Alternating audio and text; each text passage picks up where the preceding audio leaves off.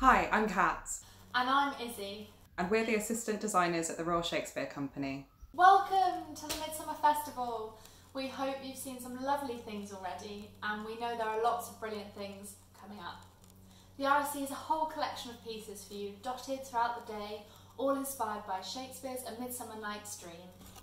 The first thing is this workshop where we're going to show you how to make a fairy den at home and how to decorate it with beautiful homemade fairy lanterns. Everything we're going to show you should be doable with things you have at home. You can also find making packs and written instructions for the lanterns on the Royal Shakespeare Company website, rsc.org.uk. We hope you have fun making your fairy den with us. Obviously, campsites are closed and there aren't any outdoor festivals happening at the moment, but maybe you could camp out tonight at home in your fairy den. or snuggle down into it to watch the rest of the festival. So, first, Kat is going to show you ideas for constructing a den or bower, and then I'm going to take you through making some beautiful lanterns. For the den, you will need How to make a fairy den. Step 1 Gather your supplies. It's time to hunt around your house. To hold your den together, you will need string, pegs or clips, and some safety pins. You'll need blankets and sheets for the walls and roof, pillows and cushions to make it comfy and space it out, and books to weight things down. At the end of the video, I'll be giving you ideas for how to decorate. I'll be using bunting, flowers, fairy lights, and paper cutout fairy shapes, but you could use anything you want to make your den special. Step 2 Building your den. I'm going to show you four different ways to make a den the canopy, the A frame, a chair fort, and the teepee. You could use any of the techniques to make yours, whatever suits your space. If it's nice weather outside, you could also build a den in your garden using garden furniture, trees, or your washing line. The canopy. You need to find two points to run a string between. Sturdy furniture or door hinges make great anchors for this.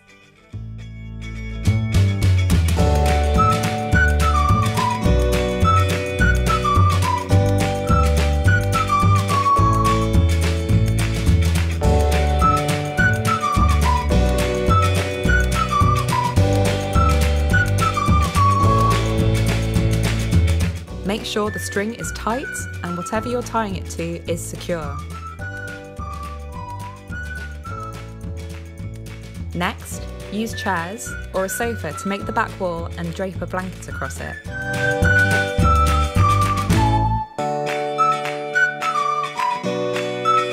Now we're making the canopy. A lightweight bedsheet or tablecloth is best for this. Peg it out across the string.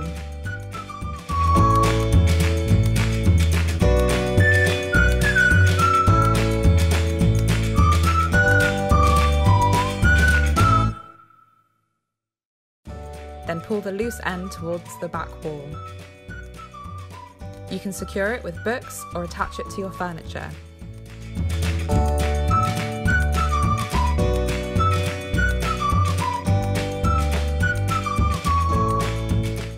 Once we've done this, use two more sheets to make the side walls. Start from the back corners and peg them to the top sheet.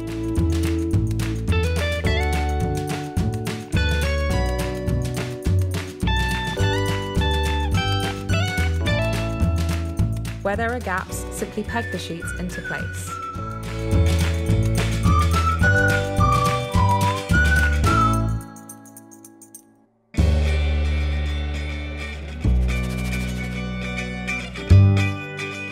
Try to leave the loose ends at the front.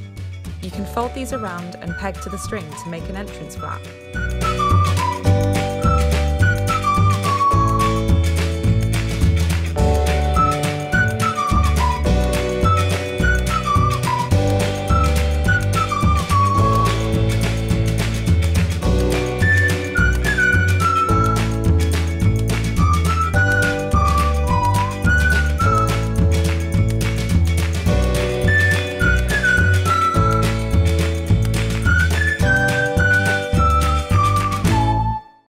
The A-frame.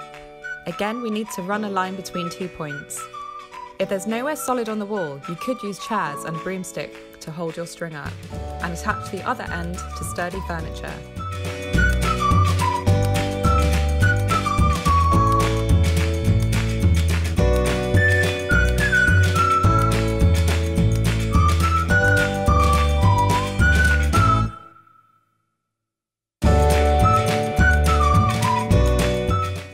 Using chairs to support the roof, make sure it's weighed down so it doesn't tip over.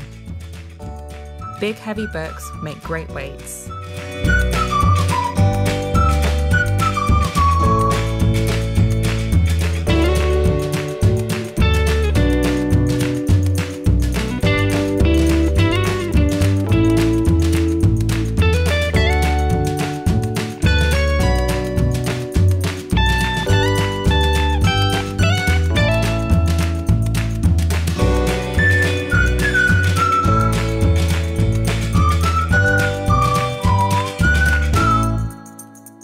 When your line is up, all you need to do is peg two sheets lengthways to the line.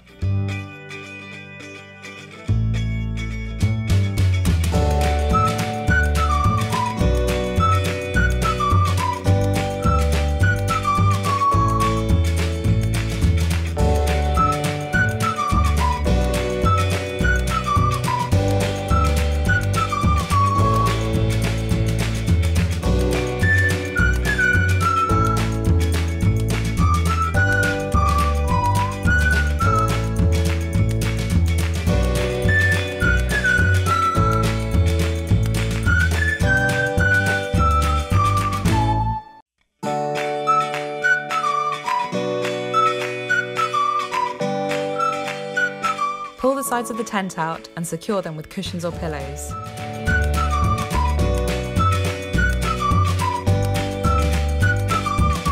Practical and cosy.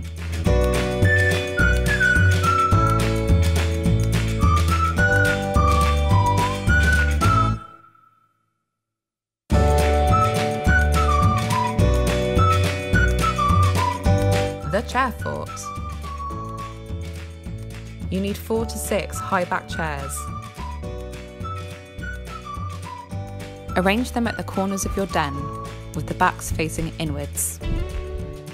You could also use two sofas back to back or any other furniture you have. Lay a blanket or sheet over the chair backs to create your walls. And secure with pegs or books.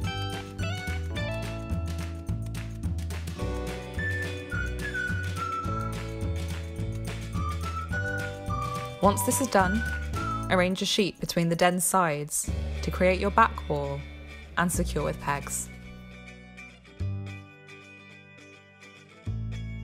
The final step is to lay a lightweight sheet across the walls, creating a ceiling. Again, secure with pegs or books.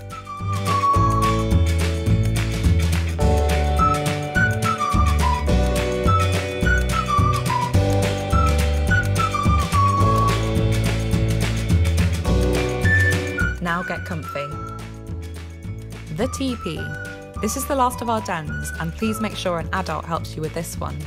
Take two sheets, lightweight as possible, and join the corners, making sure they're aligned lengthways. Attach a string to the joined sheets.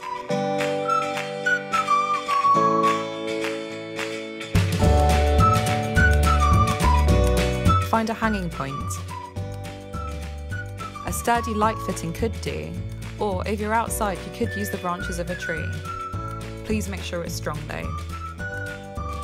Hang the sheet so that the short edge of the sheet touches the ground. Next, join your sheets together with pegs along the longest side.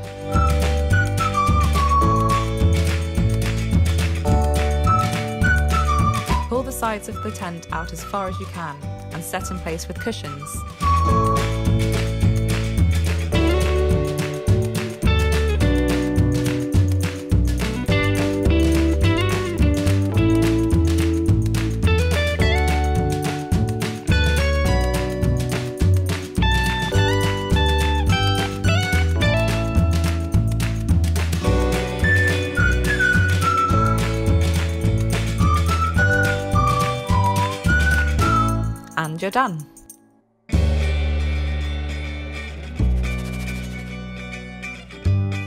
Step 3. Now we're ready to decorate. Since this is a fairy den inspired by Titania's bower in A Midsummer Night's Dream, I'm using flowers, foliage and bunting that I found at home. Use whatever you can find or get arty and make your own decorations. I've cut out some fairy shapes from dark coloured paper. I'm pinning them to the outside of the tent so that they cast beautiful shadows inside. You could make stars, flowers or any shape you like. Try to find a flat bit of sheet for the best effects. Put blankets and cushions down to make it comfy. And add fairy lights to create a cosy glow inside. In the next workshop, Izzy will show you how to make moon lanterns at home, but here's some I made earlier.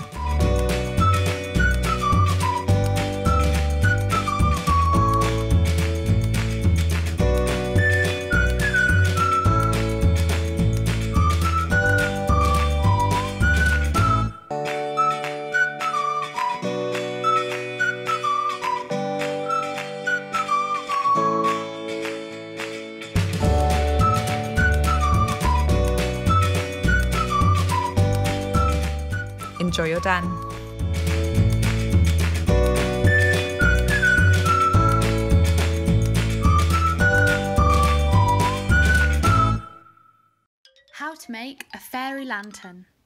And here it is, made mainly out of a box, a phone with a torch, and some paper, all things you can find at home. Remember, you can find the full list of things you'll need and written instructions on the Royal Shakespeare Company website, rsc.org.uk. Here goes. So the first thing you're going to need is a cardboard box. And uh, the easiest thing I found was a cereal box. I wouldn't recommend this flavour. Uh, but pretty much any size, as long as it's really thin card. Uh, some of the other ones I've made have been out of much smaller boxes, so you can adapt it depending on what's in your house.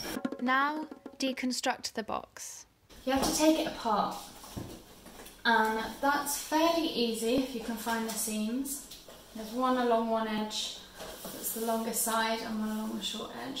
So you can prise it apart with your fingers, but if you're struggling to do that, and you do want to do it very delicately, that is what the spoon is for.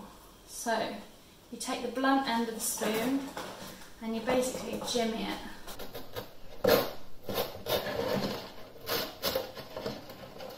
across the side of the box.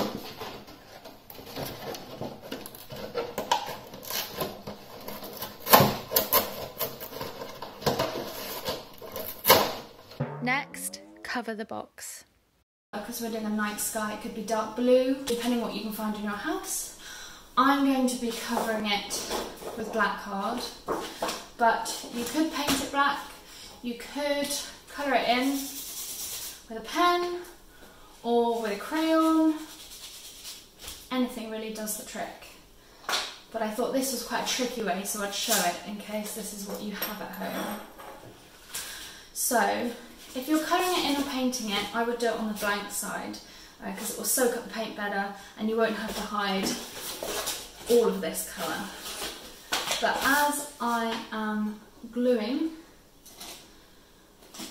my card, I'm going to do it on this side because it's a bit more waterproof so the card won't warp when I get all the glue on there.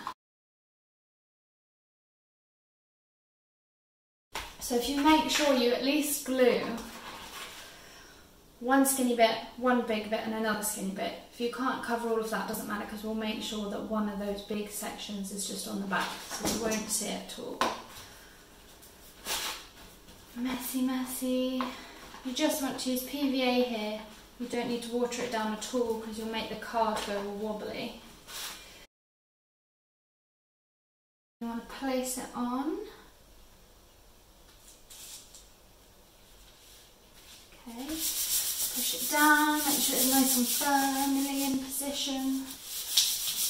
It's a bit of a messy job, so make sure you've got down some newspapers or a plastic sheet or bin bag just to protect the table. we need to cut out the excess black. So all along there, so with our scissors,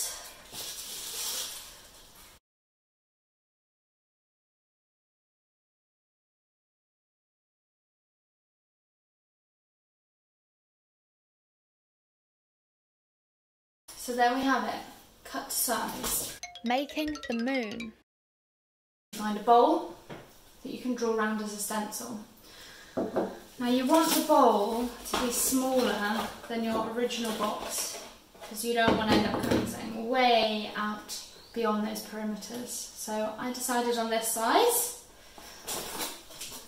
So place it on your cardboard. Let's find a pencil. Okay.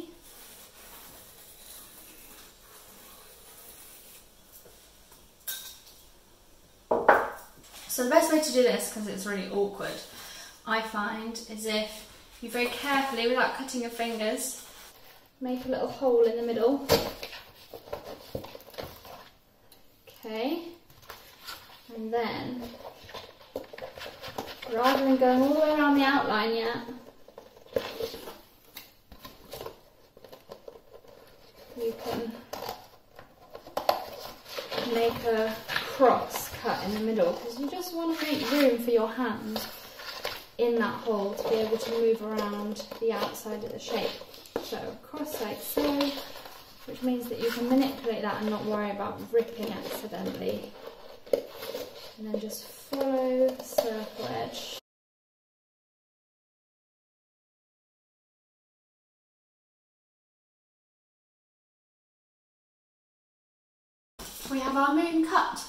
Now for a silhouette. You can print off one of the pictures in the pack if you don't want to draw anything. Or if you don't like drawing but think you want to give it a go, you can trace your own by putting a printed out image behind your paper, putting your A4 paper over the top and just putting it on a window and you, the light shines through so you can see exactly what you're drawing.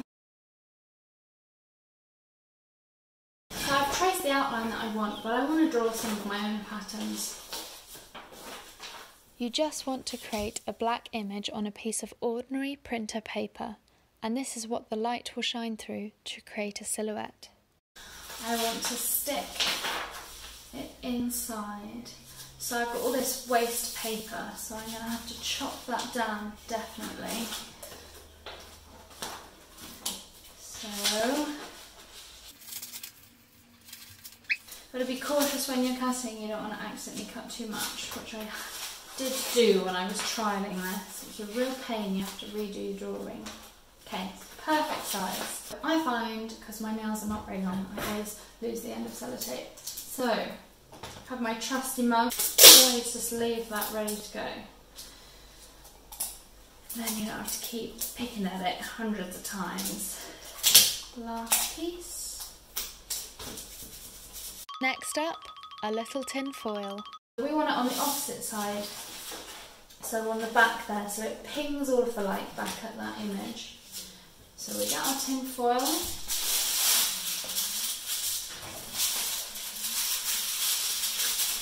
You can cut it quite rough because no one's going to be able to see the inside of the box, so it doesn't matter if it rips a bit. We want the shiny side up.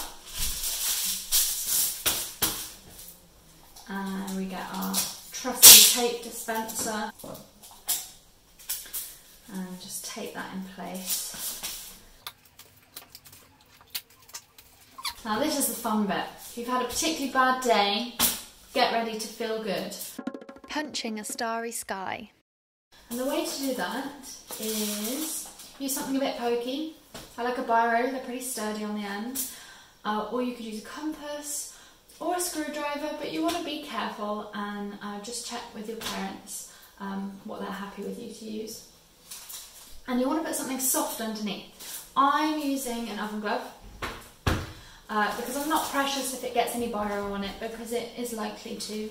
You could use a soft tea towel or uh, Blu Tack works, but you have to move it around a lot. So this for me is the best option. Make sure it's where you need it to be. In fact, turn this around and then you can make sure you don't get your drawing. And just have a stab. Time for a light source. I've got a phone that has a torch on the back, but you could also use a normal handheld torch or you could cut a hole in the back and put a night light and just slot the box on top of that. Another thing to do is to just stuff the box with fairy lights if you've got those. So using a phone torch, needs to go in the back, not front, and needs to go right at the bottom. So this is going to be folded upright, so that's the very base, what the torch will be sat on. So you need to draw around the edge of your phone. You want a snug fit so that no light peels out the back. Stick a hole in there first.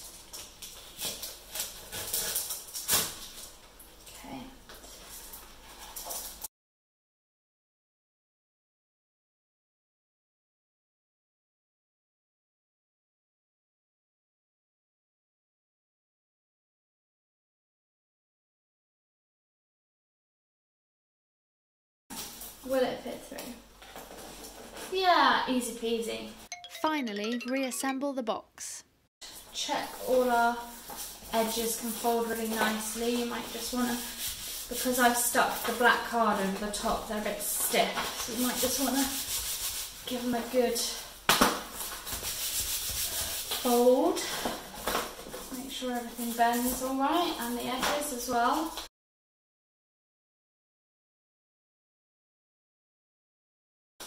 Let's stick it all together. Should have helped that we folded all these edges. So let's start with the long side first. Along here. You're going to need a nice long bit of sellotape. Just cut it on there, there we go.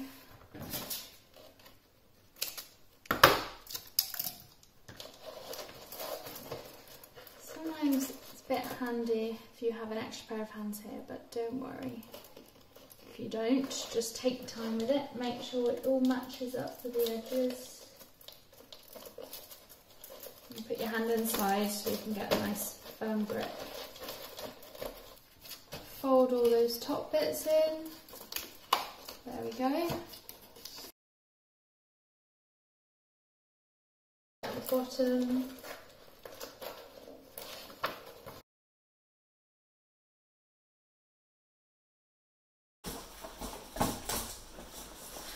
You just want to push the tape down. You've got your handy torch hole that you can just use to push that down. And it's pretty much there. You could just put your torch in now and you're ready to go, but I'm going to cover that top bit. Just going to hold that over the top like we did with the bowl and just draw around the edge. I'm going to keep, use those nice straight edges that already exist on the card. Just line the box up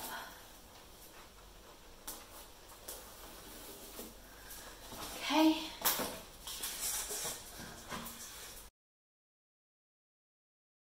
Where's my glue?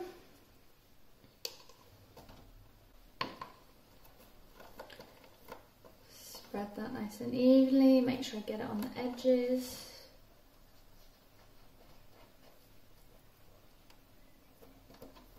Okay, and plonk this on top nice and neat. Well, that needs a bit and wait till this bit dries.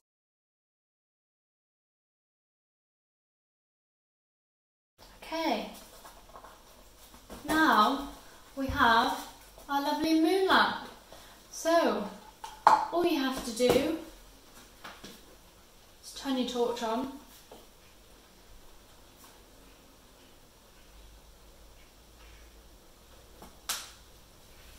torch ready to go.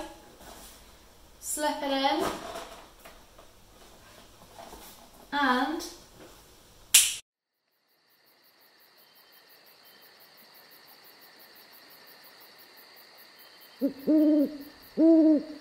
Enjoy! Happy lantern making!